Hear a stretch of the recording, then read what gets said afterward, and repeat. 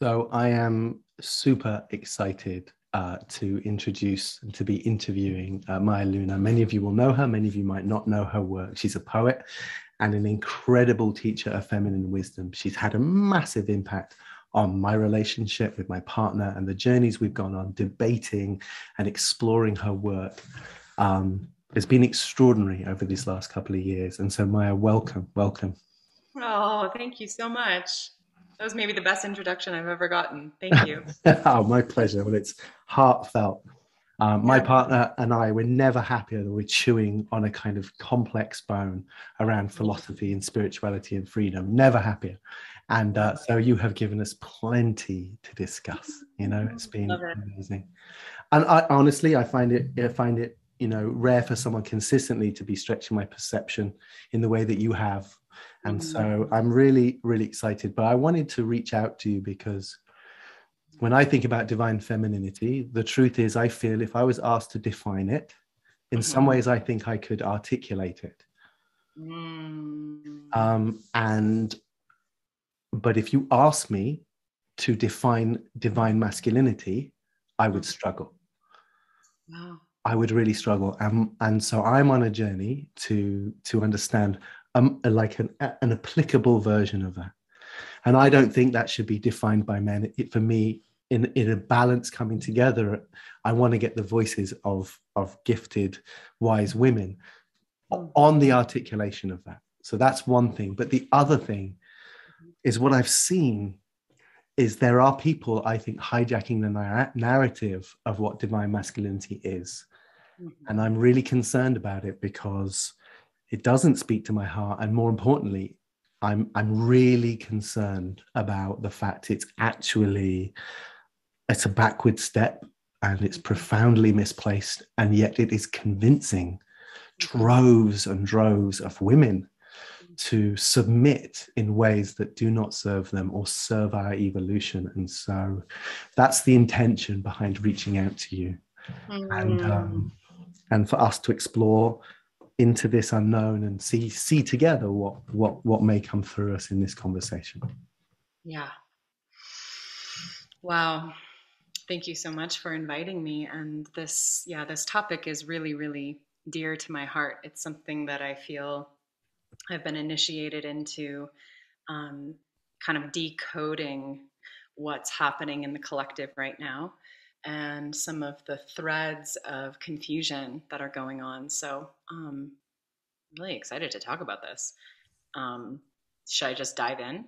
Yeah, let's go for it. All right. Well, the first thing that I want to name is that for a very, very, very long time, um, we have had a perception. Um, this is more like the, the traditional patriarchal gender roles that man or the masculine is um, tough, hard, um, invulnerable, um, and dominant, right? And we've seen the feminine or woman as soft, right? Submissive, weaker, in need of care, in need of holding, in need of protection. So essentially, masculinity itself has been built on this notion of being anti feminine, right? like masculine is strong, feminine is weak. Masculine is invulnerable, feminine is vulnerable. And so to be a real man, you have to make sure that you are not uh, feminine, right? And so what I've been really playing with lately is that I think um, I think part of what is going on, I mean, there's many, many things going on, but there's a confusion around what the feminine is, right? It's like we've seen feminine as kind of just like a lesser, weaker version of the masculine, right? It's like, it's just mm. like the masculine, just softer, weaker, smaller, right? Mm. Right? And and and anyone who's like really um, kind of dove into um, the the pre-patriarchal times on planet earth or the goddess or the real divine feminine we know that this like kundalini shakti is immensely powerful. This is like the most powerful nectar on the planet right? It's the power of the womb. It's the power of the earth. It's the power of the life force that moves through us. It's the power of eros. So it's extremely powerful right so interesting that the feminine has been associated so long with weakness and vulnerability and being small. So, what I see is part of the reason why this is gaining traction is because people are saying, you know, men have become too soft. They've become too watered down. They've become too nice. They've become too feminine. Right? So, there's the distortion right there. Mm-hmm. The idea that that is the feminine Mm. Right. And so to not be that, you've got to become more um, dominant, more hard, more tough. Right. So here's the example that I like to give. Do you remember Prince? Yeah. All right there's this saying that Prince was the only man who could like walk into a room wearing, you know, eye makeup and steal your girlfriend. Right? and high heels, right? Yes. Yeah. So if you really tune into Prince, mm-hmm. he is a very rare example of a man who was channeling the goddess. He was channeling like the real deep serpentine goddess energy, not the patriarchalized idea of femininity, right? He wasn't like effeminate in that way. He was very masculine, actually. He was like a really hot man, you know, on his motorcycle. And he had that that presence, right? He was I mean, that's why w- women would swoon for him. At his concerts, he would take three point basketball shots, right, and get them every time, right? So he's he's still demonstrating his masculine prowess, right? Yeah, he right? was very much a man. He had yeah. that masculine presence core, but he was integrated with the true feminine. So here's the thing: mm. when men integrate the false feminine Okay, the patriarchalized version of the feminine, it does depotentiate their masculinity. Because the patriarchalized version of the feminine is just the junior masculine. It's and, the masculine, the but weaker and the freedom has been defined by some feminist tropes to to be more like a man right so it's like neither of those totally toxic Agreed. that's right yeah so when men actually integrate the real feminine not the patriarchalized feminine which is like be weak, be soft, be a child, basically. And look, everyone needs to do inner child work. You know this. I mean, everyone has a right to be vulnerable and tender and all, all the whole spectrum of humanity. But what I'm trying to point to is that there seems to be this idea that when men get in touch with their feminine, that make that emasculates them. That makes them less of a man. That makes them less potent as a man. And what I'm saying is that that's the patriarchalized version of the feminine. Because when men really channel the goddess, when they really integrate the true feminine, like Prince, for example, right? Very rare example of a man their their their masculinity is not watered down in any way. It's actually extremely potentized. Yeah, I think that's I think that feels really, really true. It's fascinating. Yeah. So then it becomes this inquiry around, wow, we've had this concept of the feminine, you know, that's so deeply ingrained, right? And you and I were speaking about this before. It's kind of like the masculine is the adult mm. and the feminine is the child. Yeah, right? daddy the daddy rescuer, the Disney fantasy, right?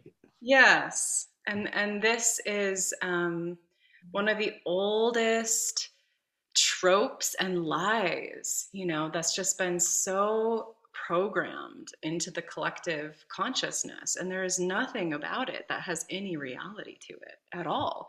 And it doesn't support men either right? Because then men are, right, expected to be these invulnerable, um, you know, machines that are just constantly right if you're if you have to be the adult all the time to someone's child that's quite a burden Yeah, totally. Yeah, but also being invulnerable is quite a burden, right? Because exactly. not. So invariably, what happens is your crown, your pristine crown, slips, right? And as a man, men have felt themselves be vulnerable or lose their way or even trip, right? Mm. Like mm. the, if the president gets sick, not you can't say anything, right? No one can know he's got a cough or ill because it's just bad for PR, right? It's right. like you can't even get ill. Right. Right. I saw a marketing guy, Grant Cardone, the other day saying, like, if you're sick, don't post about it. Don't sick, you know, no one wants to work with someone who's ill. I'm like, it's just right. it's insane, right? And that level of pressure is mm. um, is really is really is really damaging. It's really toxic, obviously. Yeah. But but but you know that as a young man, when when my partner saw my crown slip and we were both programmed to think that I should have just, you know, not been that. It's so unbearable. Wow. So unbearable. And because wow. I was holding on to some semblance of power with so much tension that of course it was it hmm. was fragile and the rage that would erupt if I was seen, you know, right. as anything less than kingly. You know, it's the uh-huh. wounded prince who's not anywhere near. And I think there's a wound for men, a challenge for men that, and, and women have a version of this where they are sexually attractive way before they're ready to be sexually active, right? And so then they have all sorts of awful energy coming at them from adult males, which is both interesting because they see they have power and they have mm. hope for the future. So it's not all terrible, but most of it is really repulsive because they kind of know those guys shouldn't be looking at them in that way, right? So it's terrifying for the world they're entering into. But men have their own version of that, which is we're meant to be strong, but at 12, we could be snapped like a twig by a real man. Mm. And, and that period of time is really unbearable because we just feel like we we are we're not up to speed we're not a man and yet wow. we know to be a good man we should be strong but we're not we could be yeah. snapped and that i think the shadow of that the powerlessness and the threat of that yes. plays out where at any time we can then have dominion or domination yes. so to prove to ourselves that we're now powerful to get over that shadow time of our weakness you know wow wow wow that's really insightful and you know as i hear you speak about it i just think about um you know this programming around that the genders man woman or now we have this kind of rebooting of the spiritual essence of masculine and feminine has something to do with domination and submission right yeah. which is um such bullshit like i mean really like there's there's nothing of it there's no reality to it mm. um it's a it's a really toxic system that has created so much harm on this planet in for the souls of men and women and and the earth right? And one of the things that i like to say is that um, so this idea of hierarchy right? Hierarchy is a very what i would call masculine way of knowing and perceiving reality. And there's nothing wrong with hierarchy actually like some people are like anti-hierarchy, like we should get rid of it and we're all yeah, yeah, equal. Yeah. yeah, yeah. So what I see is that feminine wisdom, which is what I would just call like the organic wisdom, like the wisdom that is in tune with um, the ecosystem of life. Yep. and our and our place in the ecosystem of life which includes each other which includes the earth which includes a more attuned, embodied listening to the moment rather than just perceiving with our minds. Grounded, right? Right. Yeah. So if we're in that field, dominance and submission, or if we could maybe use a gentler term, you know, leading and following. Yeah. teaching and learning, it does arise sometimes. Sometimes I hold you, sometimes you hold me sometimes I've got the wisdom and the power in a moment, sometimes you do, and then I'll submit and I'll listen and I'll receive, right? And sometimes none of that exists. So the idea that to be a man or a woman, or to be masculine or feminine, we need to maintain this never ending right and it's so so dangerous so my partner and i we have this beautiful thing where if one of us is upset you know we come in for a hug. And sometimes we both go and it's like no no no i need to go small. And we're like okay you go small this time right? And so then they're held and they're small. And it yeah. goes 50 50 so one year i might be going small more often than she is right? And it's not all of me but it's just a moment where I, i'm holding the young tender part of me. And if i can be held in that for that moment then it's yeah. the better chance to be worked through to be felt to be analyzed to be liberated to be integrated right?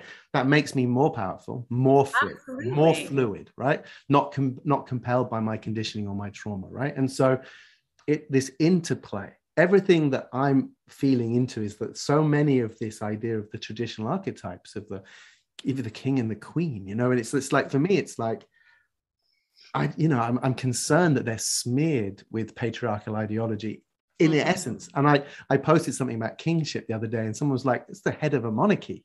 I was like, "Well, I'm mm. not really on about that, but I get it. It's charged now. I think we need new terminology, you know." And the archetypes must have evolved. I'm not sure the four male archetypes, the main ones, were that relevant to cavemen. So if they have evolved out of that, what are they evolving to? And the only thing that I am feeling is this being that is beyond the conditioned identity of being one or the other and is able to move between all of it in any given moment. Mm. You know, and it's the idea that you're right, like fixing these are the attributes right of the penis holder you know and it's like it's just yeah. insane right and it, but i guess for me the thing i i when you run into someone who's kind of just of the patriarchal like just they're chauvinistic they're brought up that way but they don't know any better and i just it feels awful but for me the thing that is really, really bothering me is the movement of people who are co-opting people who are into personal development. Mm-hmm. They're, they they want the answers about the evolutionary move.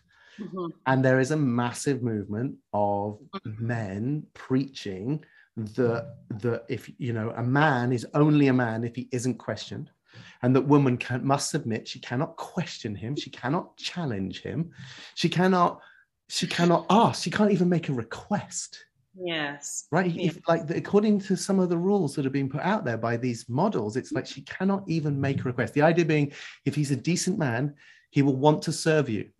And therefore, he will be passionate about, about what you're interested in, and he mm-hmm. will look for interesting ways to look after you.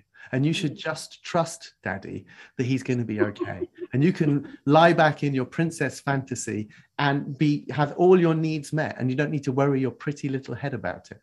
Right.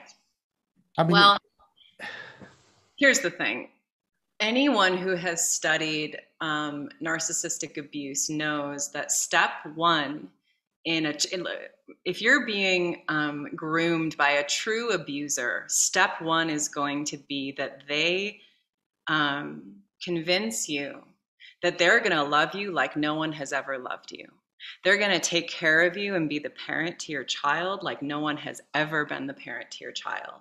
They are going to cocoon you in an idealistic um, fantasy of unconditional love and serve your every whim. That is um, 100% how the consciousness of abuse always begins. It begins love bombing phase, right? Yes, the love bombing and grooming phase. Yeah. And so, um, you know, the the I like to refer to to patriarchy as kind of like an entity.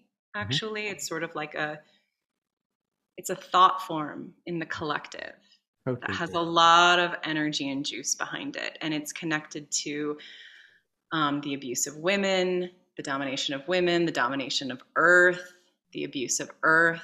Right? It's all connected.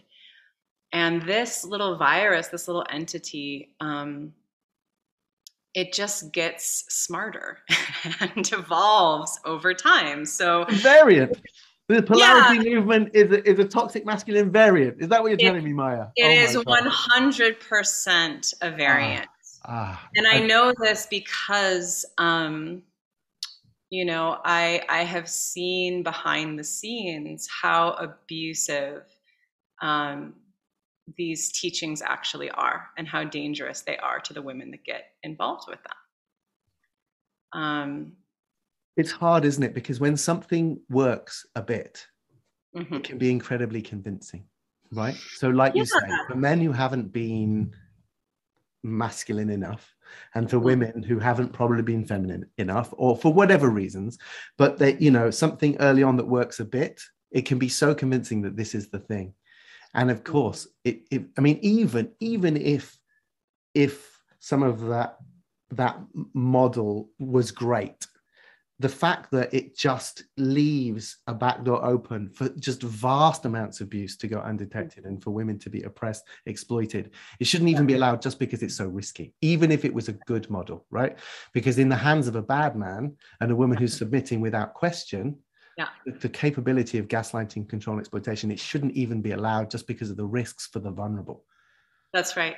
Well, and that's another thing that, you know, you can tell that it's actually an abuse model because I have never seen anyone who teaches this to actually educate people about what abuse is. Right? If they were if they were educating and saying, "Hey, this is what abuse is," because abuse is very, you know, the it's very complex actually the system of abuse with the gaslighting and the manipulation and like the way that abuse con- consciousness works mm-hmm. is actually very um, subtle and covert sometimes it's uh, it's it's really something that's important to understand and there's no education happening none so they're not saying, "Hey, we're different than that, and this is how we're different, and this is how you can." No, they're they're not doing that at all. And you know, these are people that are that are abusing their partners behind closed doors. Like and i and i know this because their partners come to me and tell me. So it's a disaster actually. It's a real backward step and it's a really really it's a, yes. profoundly risky one. And it's so let's talk about why it's attractive maybe. Yeah. And break that down. Yeah, why is it sure. attractive well I, I, mean you know i mean when i was younger when i was younger right and if i was um like making love to my partner i wanted to do a hmm. good job and i wanted to make them happy and and i was in the flow and if they and i'm embarrassed to say it now but if they were like oh could you slow down or could you maybe try this or my ecosystem just just felt that that direction meant mm. that i was getting it wrong Mm. And I was very ready in my own wounding as the unloved little boy. You know, I wasn't pleasing, and therefore any direction made me feel connected to my in, in my certain uh, my vulnerability. And then sometimes I would literally, I couldn't get back to being sexual. I would be angry. Mm-hmm. I'd feel the mood was lost. I'd blame them. They ruined it. It was going fine. Now I don't want to. Mm-hmm. And it would just go mm-hmm. super awkward. I mean, awful, awful. Wow. Thank and, you for sharing that. That's really. I'm awful. And yeah. it's like, and I know, and I know from helping lots of men and women now, there are lots of women who will be in bed and they'll be like, God, I wish you'd just do this, but I'm not going to, I don't want, I don't want to say anything. I don't want to get in the way of their strident. All the Tantra training and the consent and the direction. And for me, that empowers you to be expressed and to know what someone wants and everyone's different. It's like, mm. When you're mm. confident in yourself and relaxed in yourself, guidance is just like, this is who I am in this moment. And you're like, oh, nice to meet you in this moment. Of course, I want to know what you want because I'm here to to dance with you and your your waves. And it's like, mm-hmm. and, and that to me is maturity, you know, and it's mm. evolving and will continue to evolve. But it's like, I mm. understand what my 20 year old to find a model where it's like, you're the big man and she just has to trust you and surrender to you and then you will never be questioned. You know it's like men who don't want to stop and ask for directions because they don't want to be seen that they don't know where they're going but they don't know where they're going. Right. So so the idea is that to be a real man you have to always be right and always be on top. And always know Mm-hmm. I can imagine more ridiculous. You know, it's like that, that you know, that our, our, our, authority is based that we know what's happening and we know what to do. Yes. And it's like, well, you know, the, my first step into power is like, I know nothing. I'm available. I'm listening. I'm going to go with what's coming up. Right. So and, that's what I would call feminine wisdom. Right. Yeah. So when we're dropped into our bodies, and this has been the legacy on planet Earth, is that um, what what I actually call patriarchy is is more. It's so much more than gender dynamics. It's a legacy on the planet where human beings have been disconnected from the feminine, from the true pulse of the feminine, which we only can contact when we're really low in our bodies and receiving the moment, right? And making embodied contact with the present moment. So, what happened was human evolution, our center of gravity moved from our body up into our, our head. And quite literally, with that came the advent of the written word, mm. and then the domination of logic, the rational mind. With that came the Abrahamic religions, so moving away from the goddess and the earth to God up in the sky, the transcendent. And then with that came misogyny and then the domination of women and it's all connected. It's mm. all connected to our embodiment. So i love when you speak about this movement that you have made as a man from starting out as all males do with this assumption that if i'm to be a real man i have to always know i have to always be in control and i have to always be on top. I have to always be dominating situation. And then you've evolved into recognizing, oh, wait, real power is when I rest into my body, into I don't know, and meet the moment and let life move through me. Yeah, That's what I call the goddess. That's the true feminine. Yeah. And, you know, my partner, she's always saying, you know, it's like how I run my business, how I run my containers. I don't have any plan. I have no agenda. I have no, people like, what are we going to do? I'm like, we're going to turn up. We're going to see what's there. And, and it's like, I might run an eight day training. I, I know what to talk about around healing inner child. And I've got a whole bunch of tools, but I wait, I pull them off the shelf as and when based on what's happening. Right. Yes. And uh, I don't give my people enough flow diagrams. And for some people that like to know what's the system, they go crazy with my way of working. But but it's so like, can I can I just reflect something really really quickly? So I just, I just want to circle it back to what I was naming before because this is what I would call a man who has integrated the feminine and has integrated embodying the feminine. Well, and what you're describing has nothing to do with being vulnerable and weak and soft. No, you're kidding me. That's my superpower. It's yes. like I, I mean, I learn on the job. Like if I can surrender into that, it's like someone asks a question, and I'm like, and I speak to it, and I'm like, I am learning on the job. Like what is coming through, I'm like, wow, that's amazing, right?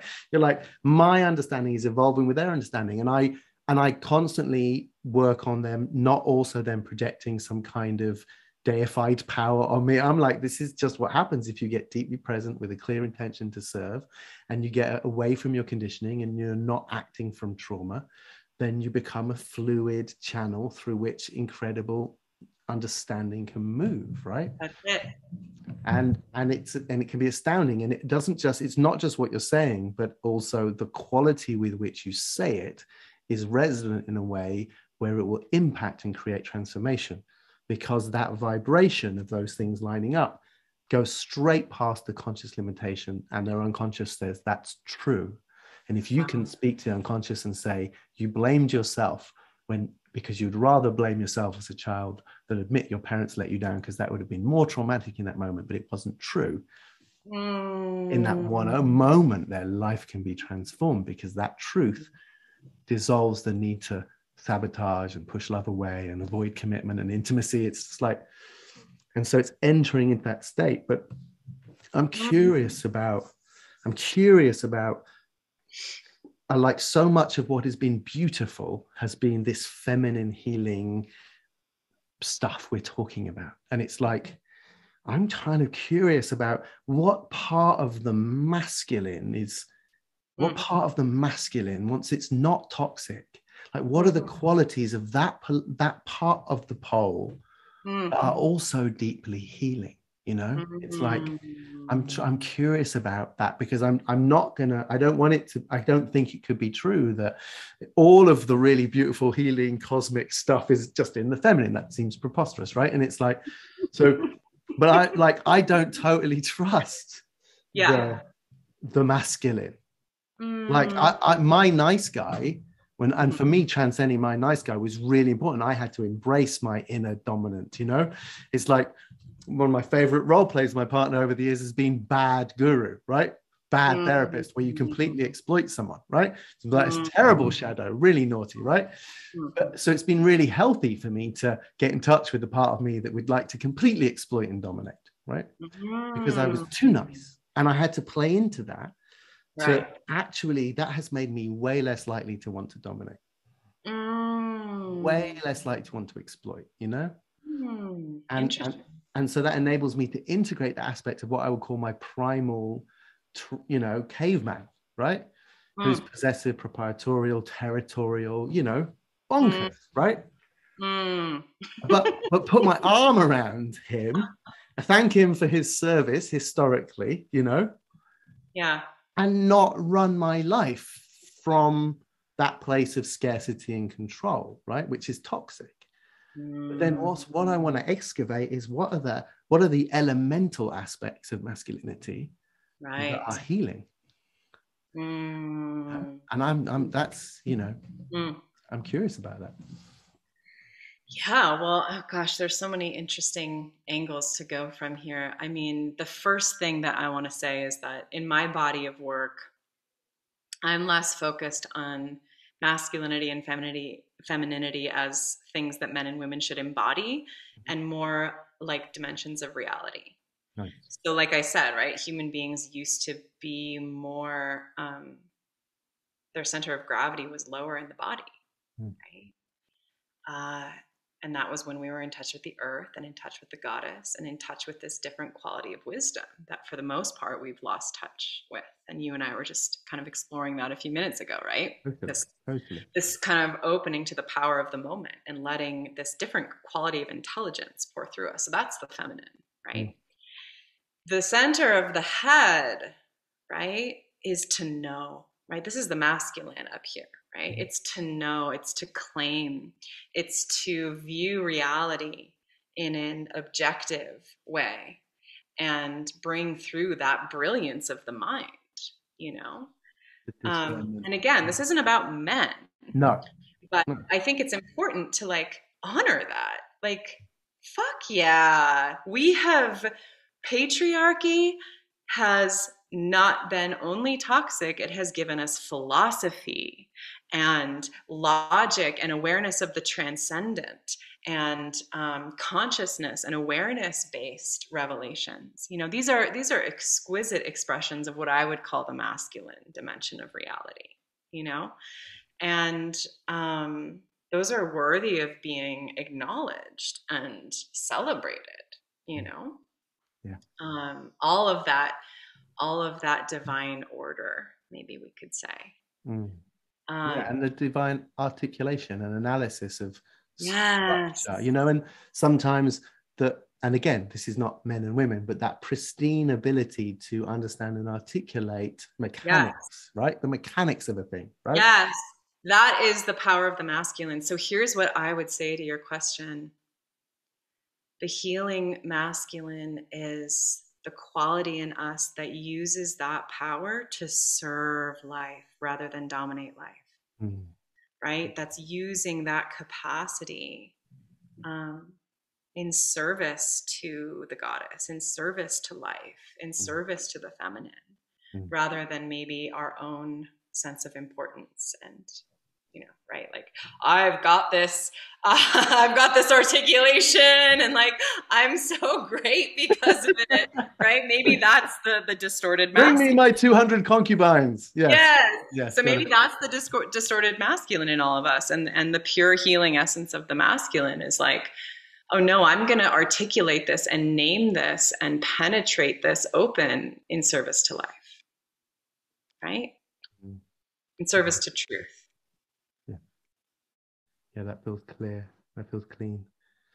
Yeah. And I notice, and I notice how you know, I, I'm t- I get tired of the pendulum swing of human evolution, right? So we're like, this has been bad over here, so we need to rebalance it, and so therefore, you know, it's we're you know, we're going mm-hmm. to it just moves over too far the other way, right? And it, then it moves it, and it's just like for me, I'm interested in when the pendulum stops swinging between the two, right mm. what's the what's the center point you know that's the evolutionary step you know it's like the mm. things we do to to rebalance some of the oppressions just further establish imbalance because we're bringing the mm. same the same energy you know and so mm-hmm. it's like and i get so i get concerned and frustrated about this in terms of white male privilege right mm-hmm. understanding that there has been white male privilege but to mm. to categorize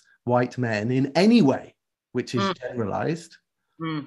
is bigotry mm. the very thing that we're trying to move away from right now, mm. every individual man black or white and and woman of any any person identifying in any way we have a responsibility to look at our prejudice and to look at our privilege and of course. Yeah. but as soon as we're clumping people together and going boo you know and the you know it's just it's just for me it's oh it's just gonna take another 500 years. Can we not just move to the middle point? Mm, mm. yeah i see what you mean. I guess why i went down that route was because actually when you articulated so well what what is beautiful about the masculine mm-hmm. it felt rare mm. right now mm. that felt rare mm. and whilst we are rebalancing toxic masculinity Mm-hmm. For me, it's more important to articulate divine masculinity than it is to say no to toxic masculinity. Right. Or at least right. equally important. And that balance is off. That's why I'm now, having worked mainly with women for 22 years, working on inner child healing. Yes. I'm interested in, in, in working with men. And when I funny, when I first thought about it, I was like, oh, am I going to have to get spears and start practicing shouting at fires, you know?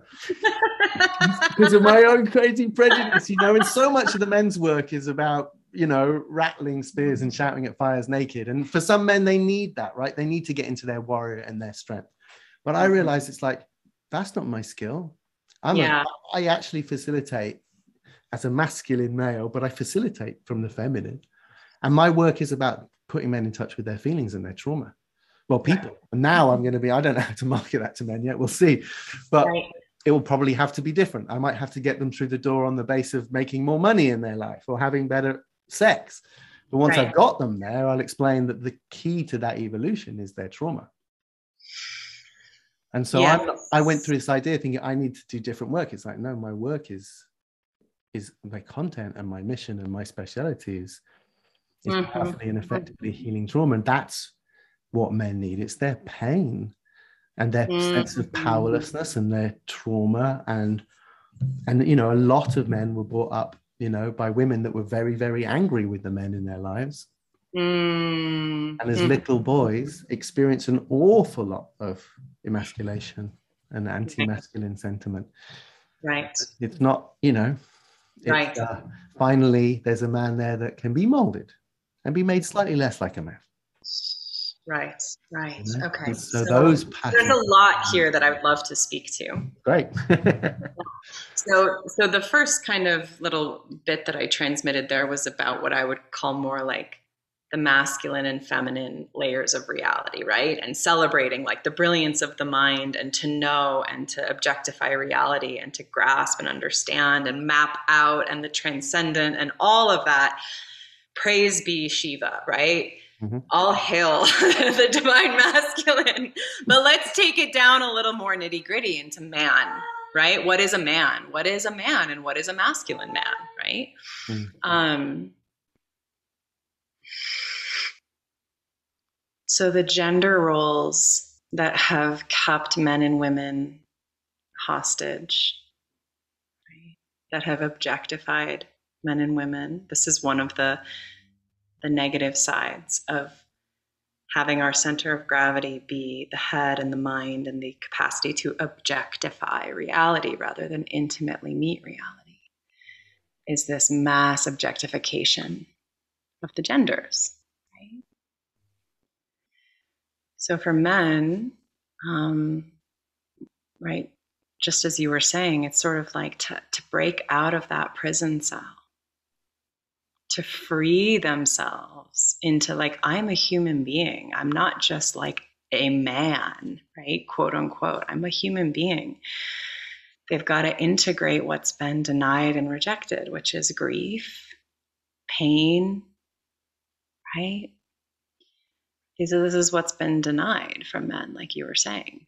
Um, all of this pain, all of this trauma, all of this wounding that men have been taught to suppress and not feel and just pretend I'm tough, I don't care, I'm tough, I don't care, I'm strong, I don't care, right?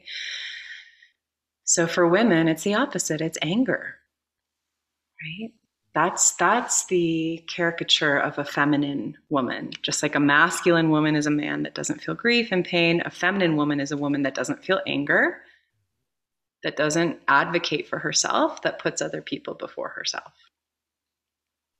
So for women to free, right, to free themselves, to liberate themselves from the gender prison, um, it's getting in touch with their anger. And for men, I would say getting in touch with their grief. Yeah, I couldn't agree more. I couldn't. Yeah, yeah. yeah. I'd love to tell a story really quickly. Um, sure. My housemate, um, hired a man like off of Craigslist or something to do some landscaping for us. Mm-hmm. And so um, this guy comes over and he's doing this landscaping and he's taking care of our yard. And uh, we didn't have that much interaction with him, but we were just you know really polite and nice and had a few words exchanged. And he was there a few hours and then he left. And then he called us after he left, sobbing because he was in so much pain in his life and he felt he had nowhere to go to share this pain and have this pain be seen. And because we showed him this like morsel of kindness and presence, mm. you know, he felt something in us that could hold it. Yeah. He was just like basically begging us, like, please, like, I have to be seen in this pain. Right. Sobbing. I have nowhere to go. I can't tell anybody. That is the story of so many men walking this earth right now. I mean, men commit suicide at I don't even know how many times greater the rate than women. Yeah, I think it's yeah, at least six. I think. It's, yeah. Yeah, this is not okay, and so now we have the the supposed you know conscious people helping us to like evolve and and and expand and grow. And they're saying go right back into the box men. Stuff your pain stuff your vulnerability stuff your weakness stuff your grief and be a real man. That's insane that's it's toxic, like to the bone. yeah. yeah. Yeah.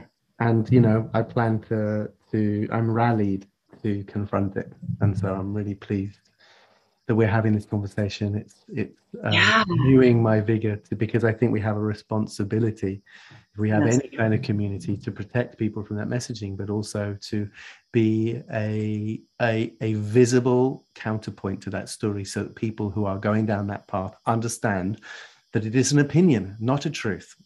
And that it's and it's something they should deeply, deeply question. And if those people in power are not open to debate and not willing to be challenged, or there's no space for questioning without them being shamed and for being non-feminine women, then they should run as fast as they can. That's right. Right. well, and let's and let's look at it this way, you know, like all the men that I've known who truly love women and like really appreciate women and appreciate the feminine, they love the crone, the dakini, the oracle, the wild woman, the wise woman. They love all of those facets of woman, not just the maiden, the little girl.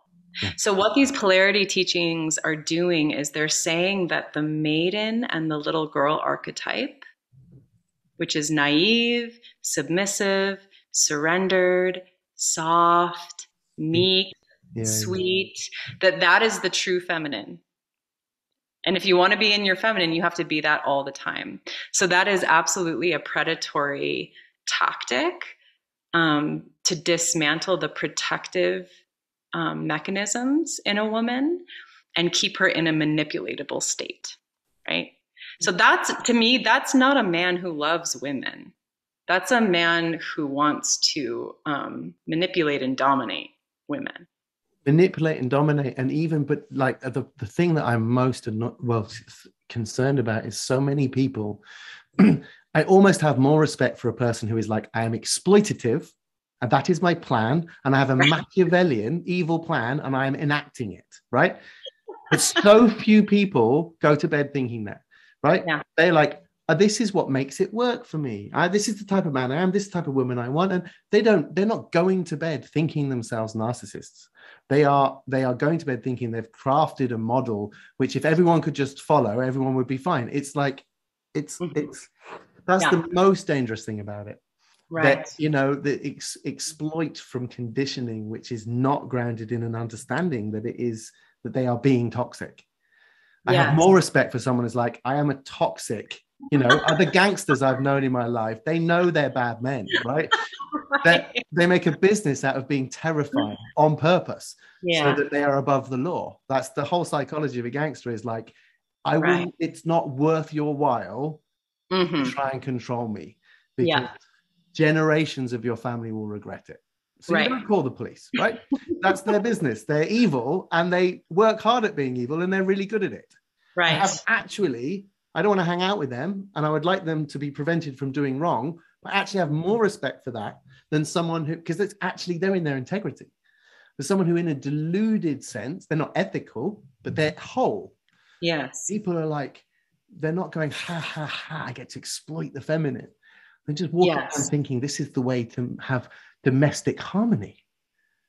Yes. Well, this is actually a really powerful point that I think is important, um, which is this is something that took me a while to really understand, which is that in the psyche of um, a misogynist, right? Which we could we could say that like some men really embody that, but we could also just look at this as kind of like an entity, like a thought form that has been floating around for a long time, right? Yeah it's it's like they actually literally see women as slaves actually like that's the mentality right they they don't see women as people mm-hmm. and their idea of love right is a very twisted um, kind of controlling objectifying possession right? It took me a long time to to realize that and i think it connects to what you're saying because there are so many things like this. I mean i think racism is, is a similar consciousness too. Um, so it's not that they're hiding the fact that they're toxic they don't even understand that they're toxic I mean, look at like what's happening in Afghanistan, you know, women being shot in the streets for showing, you know, a portion of their knee or something. They don't think that that's abusive. That's right. It's like you don't think it's bad to put your dog in a kennel when you go to work because it's a dog. That's how they think of women. And it took me a long time to actually understand that. Right. But it's but it's also, you know, it's also and this this makes it almost worse. It's the feminine, it's the collateral damage of a man being disconnected from his own feminine. It's like yeah. it, they're not tuned into that frequency, so That's they don't right. value it in their lives. It's an alien frequency, so they don't understand it and they don't That's see the value in it. So That's of right. course you're you're you're a secondary valuable thing because you're yes. you're you're full of the values that they have actively suppressed and think of as being bad, right? It's just 100%.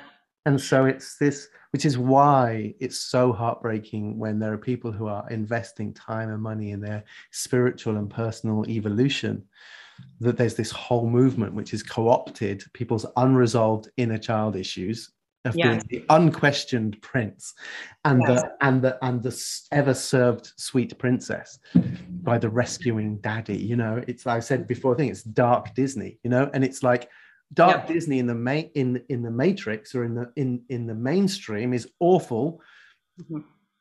but understandable as mm-hmm. being as being blind prejudice which we should do everything with compassion and love to educate but when mm-hmm. people are standing on stages charging people an awful lot of money using psychology and emotion you know just all the things we know that, that can be done right.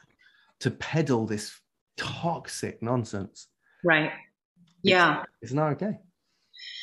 Yeah. And, you know, speaking of um, trauma, you know, I think this is part of it too, is that um, trauma tends to create eros in the body, right? Wherever there's trauma, the body tends to create some kind of eroticism around that trauma as a as an intelligent way of um, it's kind of just the organic intelligence of life saying go here this is where healing needs to happen so i think that's part of the power of the polarity teachings too or the appeal is that we have a mass legacy of trauma of women being dominated and raped, right, and pillaged by by men, right? This is this is a legacy that lives in our DNA, our great great grandmothers, our great great great grandmothers, right? This legacy of rape on the planet. And so when that I mean, this is edgy. Like, I realize this is edgy to talk about because I think a lot of people are like, don't take that away. I want to keep my hot, you know, dominant, submissive sex. Like, it's hot and I like it. So you don't mess with it. And like, I get it and I understand it. But I think we have to acknowledge that part of the reason why there's so much charge there is because there's generations of trauma behind it. I agree. Not just for women, but for men too. Totally. Because being the one that's in war, killing and raping and pillaging, because that's your duty as a man, is to be the warrior and kill and murder and rape and pillage. Yeah. Oh, that's fucking traumatic. Deeply. And and anytime we experience trauma, one of the first defenses is to normalize it, right? Yeah. normalize it. Because if you normalize it, it's not so bad, right? But if you normalize it, the, the drive to repeat it is profound.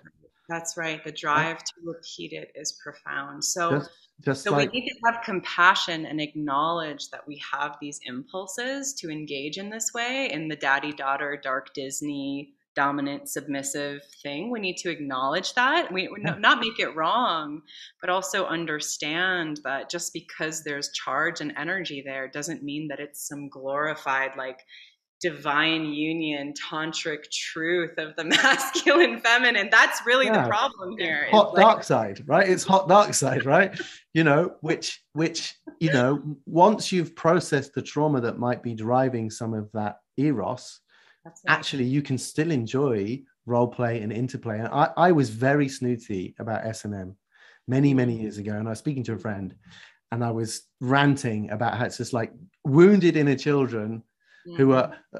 connected to I'm a bad little boy or I'm a bad little girl, spank me, you know. And my friend went, You're an idiot.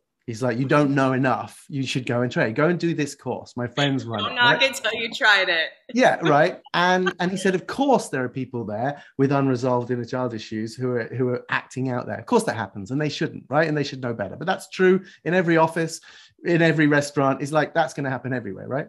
Yeah. And, and I went on this course and I did my best to, to, to leave my prejudice at the door. And, and what I learned was beyond all of that, of course, there's an incredible magic around being submitting to dominance and mm. the edge of fear and mm. the and and then the actual consent and learning how to do it safely and expressing all of that and how healing all that stuff can be right absolutely but it's um but yeah just it's maybe similar to what I was describing earlier around the difference between fixed hierarchy and dogma and mm. fluid, connected to the moment, connected to presence. Hierarchy and dogma is that if we if we really drop into presence in sex where we're not in our heads we're not in a fantasy we're not in a projection we're not in a story we're really really in our bodies in the moment letting life touch us, letting the current of life and eros move us, then um, yeah, those those animalistic primal, you know, dom sub spaces might arise, right? Yeah. But in a very fluid, organic way. And not being driven ultimately by a desire to dominate because we're still a wounded kid that wants his toy and doesn't want to share it, right? And or any other variety of possibilities. So in that present state, you're right. As a, like a radio transceiver, you move the knob, you'll go through a whole bunch of different radio stations, right? Oh yeah. Oh yeah. Oh yeah. And, oh, yeah. you know, and for a moment, yeah. two, two, songs of S and M might just be the ticket for a while, right? And then yeah. it moves into something different, right? And it's yeah. Then suddenly you're laughing or together, or you're crying, or you're in penetrative stillness, or you know, all kinds of different flavors that arise. And then that's healthy, right? And that's, I mean, any model that that dictates fixedness is worrying for me, right? So that's the that's the toxic masculine. That's the out of balance masculine. It's the, the known the rigidity. Yeah. It stays still. I've got it in a compartment. I've I've labeled it. I've that's described right. it. I know what it is. I know what it does. Yes. I can sleep tonight. That's right. I put nature in a box. The chaos is over. Yes, I've conquered. Ultimately, I've conquered. in the in the pure heart of the masculine desire for control. It's the terror of chaos, right? Yes, that's right. It's the terror of chaos. That's right. And every, you know, it's like, let's not, what if we don't find enough nuts tomorrow? So why don't we, why don't we start growing them in one place where we know we can get them tomorrow? Hmm. This hunter gathering is exhausting. It's a, you know, hmm. it's, mm-hmm. and, uh, and so as soon as we started cultivating, right, we were lost, right? That's when it all began actually. Yeah that and the advent of the written word. That was the big the great turning of patriarchy. Right. Um but you know it's it's interesting when you say that because uh, this is a big part of my teachings actually is that you know on this planet we live in the goddess right? It might be different on other planets and other frequencies and other realms and other dimensions but on this she's actually dominant. Like she's she's actually right this chaos that you talk about this fact that we live in a wild jungle of reality and groundlessness and constant change and impermanence. This is the goddess. This is the feminine. We don't know when we're going to die. We're all going to die. Could be any time we don't have full control over what happens. We have some agency, but not total agency. Right? And what I've seen is that most spirituality and personal self development is a way to try to deny and cope with that fact. Because we are terrified of the feminine. We have lost in our losing connection with her, in sinking into the systemic ecosystem of life, and our embodied connection to what I call the deep feminine current of reality, we have become so afraid of this wild, pulsing, undulating, you know, the wildness of her. Like we live in the jungle. yeah, we put these concrete boxes around it, right? To try and pretend we can control it. Try to pretend we can control it. And so, mm. what happens when we turn towards, you know, and find a different way of dancing with the goddess rather than dominating and conquering, which is futile, anyways. No one, no one conquers. no one. Nobody conquers you know? And i think this is um, this is actually really important because it shows us some of the roots of that distorted masculine yeah. in all of us not just in men. Yeah. you know that just thinks if i work hard enough i'm going to get control over life and over reality and we can't. Right. It's like i was horrified to see that the you know because the the pinnacle point of materialism is is is scientism you know and the idea mm-hmm. we've just got to battle with the unknown and if we have enough money and resource and enough microscopes we will we will find out right, right. and right. And i and, and i was horrified to see to notice the other day that the the slogan the motto of pfizer is science will win Wow. And I was like, I literally felt a shudder through my soul when I read that. I was like, Mm, yeah. It's just, it's just this like, and I haven't met a doctor yet that wasn't either afraid of death or yeah. touched by death at a young age. Yes. It's yes. like, you know, it, and I have a huge respect for medical science in loads of ways, of course, and amazing things they have done to, to, to protect and long life. And I believe that most of the intentions in most of the people involved in that work is an attempt to control and to serve and to avoid death. And the idea that enough money and knowledge will protect us from pain, which is ludicrous. But it's not, you know, easily easily labeled as as entities and as industries as evil, but they're actually full of people who are afraid, trying to establish control. Yeah. With a model which is which is uh, deeply flawed afraid of the goddess of reality, afraid of the reality of immanence and incarnation.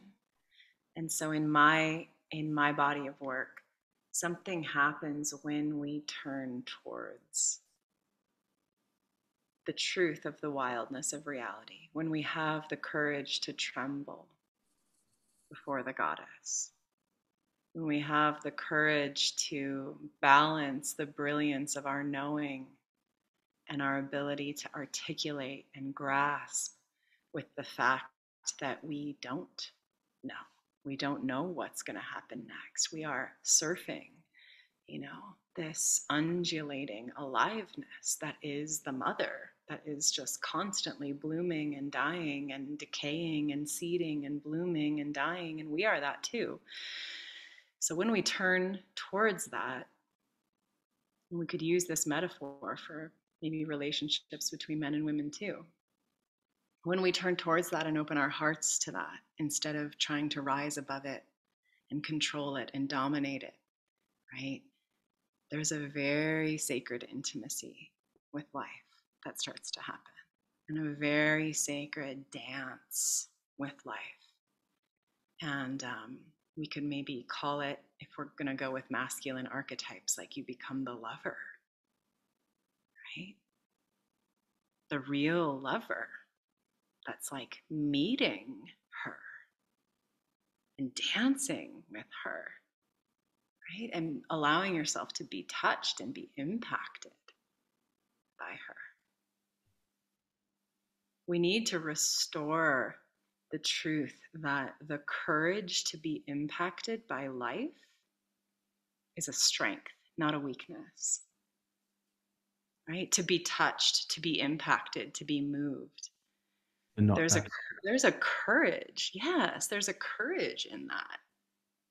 That's a, it's a strength. It's not a weakness. You know. I think that's the the ultimate key.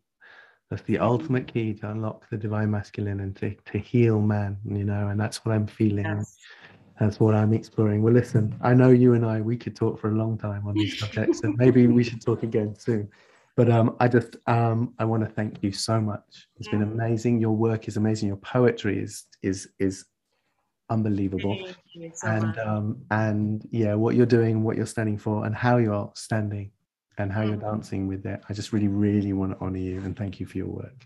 Thank you so much. It's rare for me to really meet someone who um, who gets it and gets me and gets where I'm coming from and can and can meet me in these places. So I've just been so um, nourished and lit up by this. And thank you so much for all that you're doing. Thank you. Right. Yeah. We shall leave it there. And uh, I'll put all of your links associated. So anyone wants to connect with your work, they will they will find you. So thank you. That's great. All thank right. you so much. Bye. Have a good evening. You too.